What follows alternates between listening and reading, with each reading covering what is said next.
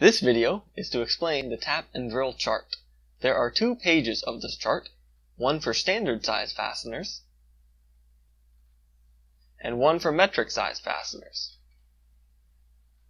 Both work the same way, so we will focus on the standard size chart since we use it more frequently in this class. There are three sections to this chart. The first outlines fastener specifications. The second outlines required tap drill sizes, and the third outlines industry standard clearance drill sizes. The fastener size section outlines the various fastener sizes and their corresponding major diameters.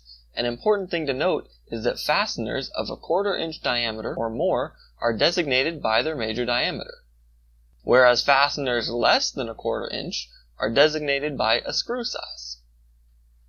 Therefore, when someone speaks of a number 10 screw, for example, they are referencing the screw size of 10 and not a 10 millimeter screw.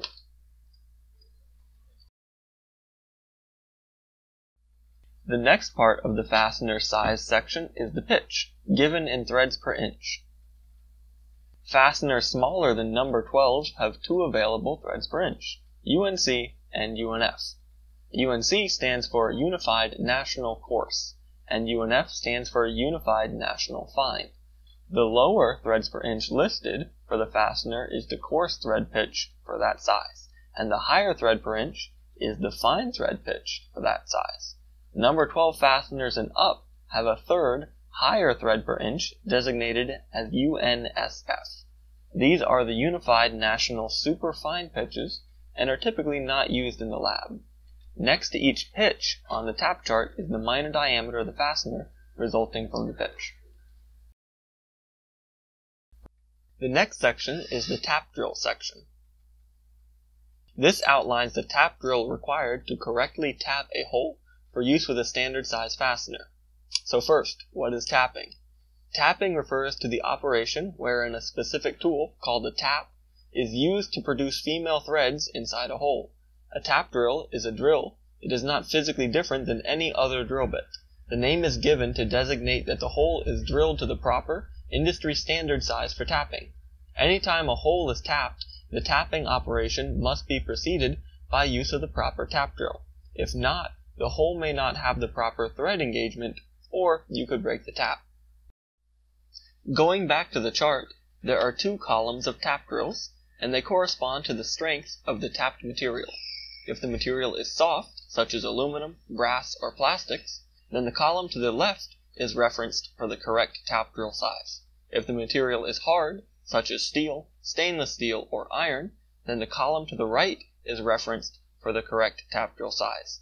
Each tap drill has its size listed both as shown in the Standard Drill Index organization as well as its decimal equivalent in inches. The final section of the chart is the clearance drill section. This section outlines the drill size required to make a close or free fit hole for the fastener. Close fit holes have less clearance between the hole and fastener than free fit holes do. Depending on the application, a close hole may be necessary, or a free fit hole may be sufficient. Again, these are industry standard.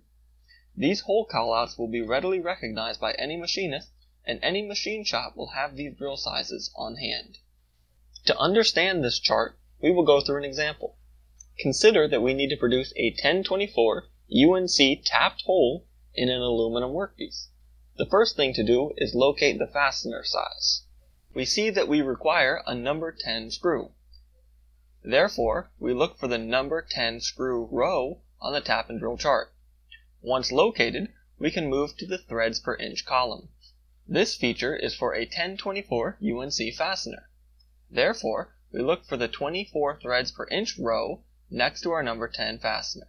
With that, we can move across to the tap drill section and find our tap drill. Knowing our part is made of aluminum, we look at the column to the left that is designated for soft materials. We can find that the tap drill size for a 1024 UNC threaded hole is 0.157 inches.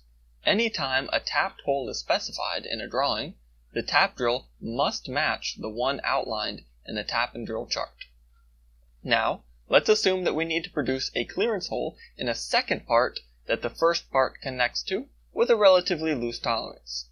Well, we already know that the hole should be for a number 10 fastener. We also suspect that the free fit will be sufficient. So, we choose the free fit clearance drill for a number 10 fastener. Our chart tells us that this is a number 7 drill, which has a diameter of 0.201 inches. The metric side of the chart works exactly the same way with a few minor differences. First, metric drills are specified using thread pitch rather than threads per unit length. In this case, the length is millimeters. Thread pitch equals 1 divided by the threads per millimeter.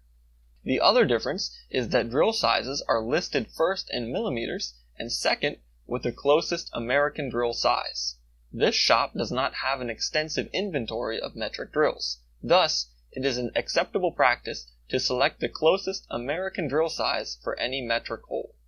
With this information, you should now understand how to use the tap and drill chart. Thank you for watching. This has been the EML 2322L training series tap and drill chart video.